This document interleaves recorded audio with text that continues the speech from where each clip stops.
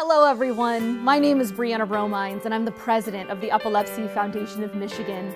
This year marks the 20th anniversary of our Turkey Trot for a Cause 5K and one mile fun run event here in Canton. And we would love to have you join us in person for our favorite Thanksgiving Day tradition. This year's milestone event will be presided over by two special Grand Marshals. Bridget Murray, who is our 20th anniversary Grand Marshal, and Lizzie Preston, who is our 2022 event Grand Marshal. We are also proud to offer virtual attendee options as well for those who would like to support this event and our mission, but are unable to attend in person.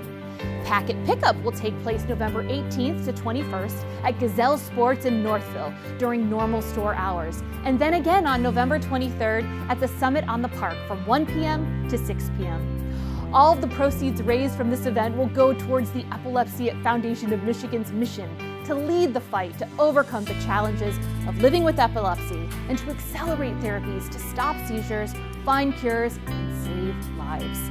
To learn more about everything our foundation has to offer, please visit us at epilepsymichigan.org or call our Here For You helpline at 1 800 377 6226. So gather your flock and sign up today to join us at this incredible event for a good cause on Thanksgiving morning. And don't worry, we promise you'll be done in plenty of time to enjoy Thanksgiving dinner.